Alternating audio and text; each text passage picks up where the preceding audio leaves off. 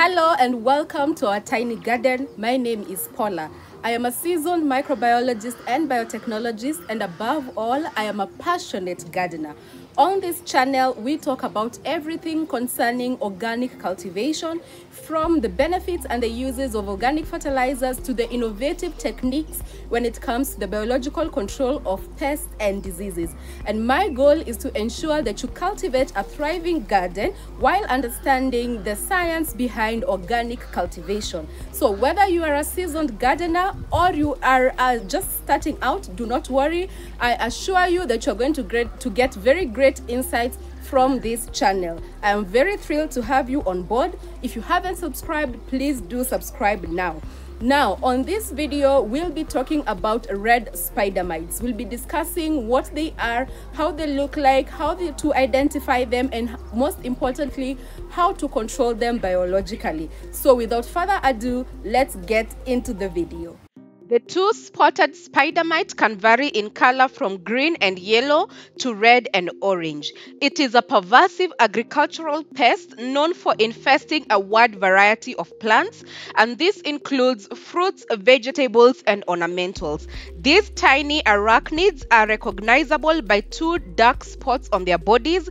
They thrive in hot, dry conditions and reproduce rapidly, leading to severe infestations. They feed on plant sap by piercing leaf tissues with their stylet-like mouthparts that causes stippling and yellowing and eventual leaf drop.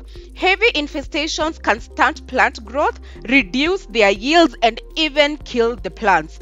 Their presence is often escalated by resistance to common pesticides, and therefore this makes them a challenging pest to manage and control in both commercial and home gardens. The life cycle of the two-spotted spider mite comprises of several stages that include the egg, larvae, protonymph, deutonymph, and then finally the adult. The females lay spherical translucent eggs on the undersides of leaves, which hatch in a few days into six-legged larvae. These larvae feed for few several days before molting into eight-legged protonymph stage. After another feeding period, they molt into the deutonymph stage, which also feeds before undergoing a final molt into adulthood. The entire life cycle can be completed in as little as one to two weeks under optimal conditions that includes warm temperatures and low humidity. And this allows populations to expand rapidly. Adult females can live for several weeks and lay hundreds of eggs, perpetuating the cycle and contributing to the potential for rapid and severe infestations. One of the highly effective biocontrol agents against two-spotted spider mites is hands down Phytoseiulus persimilis.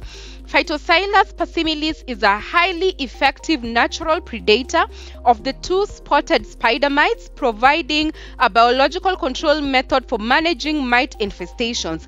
These predatory mites actively seek out and consume all stages of spider mites, and this includes eggs, larvae, nymphs, and even adults. A single Phytoseiulus persimilis can consume several dozen spider mite eggs or larvae each day. They are highly effective at locating their prey due to their rapid movement and acute sensory abilities. Phytoseiulus persimilis reproduces very, very quickly under favorable conditions, and this enables them to keep pace with the rapid reproduction rate of spider mites. And here is a fun fact it was the first commercially used biocontrol agent in 1968. It has revolutionized pest management by providing an effective alternative to chemical pesticides. In terms of application, Phytoseiulus persimilis must be used immediately upon receipt.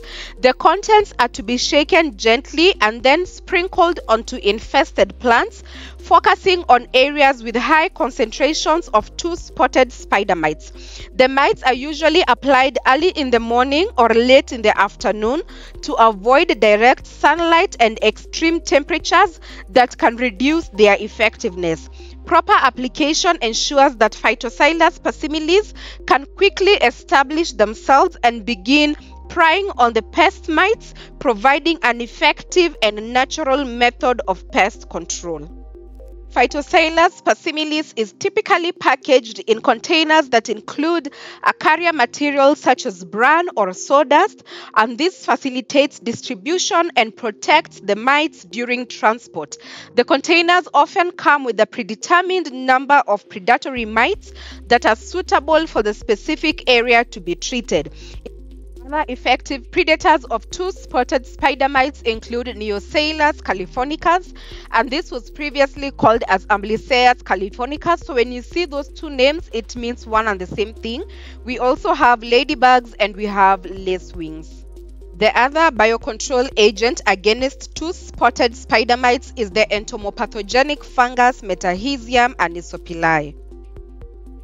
Metarhizium anisopliae works by infecting two spotted spider mites through contact. When applied, the fungal spores attach to the mites' bodies, and upon contact, the spores germinate and penetrate the mite's cuticle, colonizing their internal tissues. Inside the mite, the fungus proliferates, eventually leading to the mite's death.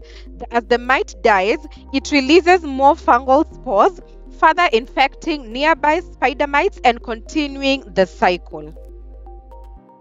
Metarhizium anisopliae is packaged as a fungal spore suspension with a carrier material and applied by diluting with water and spraying onto the plant foliage.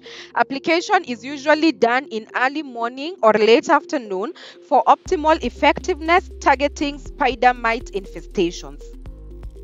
Finally, two-spotted spider mites can be controlled by the use of botanical or plant-based biocontrol agents, and these include pyrethrins and also neem oils.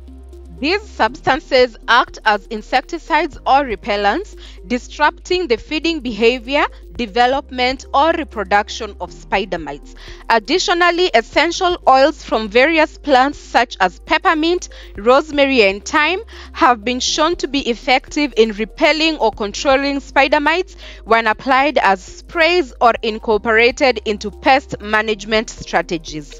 And there you have it. Now you have all the information that you need in regards to red spider mites, how to identify them, and most importantly, how to control them naturally. If you liked the video, please give it a thumbs up, share it with someone who might be interested in this kind of content, and above all, do subscribe to my YouTube channel if you haven't done so already. In the next video, we'll be taking a look at the biological control of downy mildew and what is the difference between downy mildew and powdery mildew. Until the next video, happy gardening.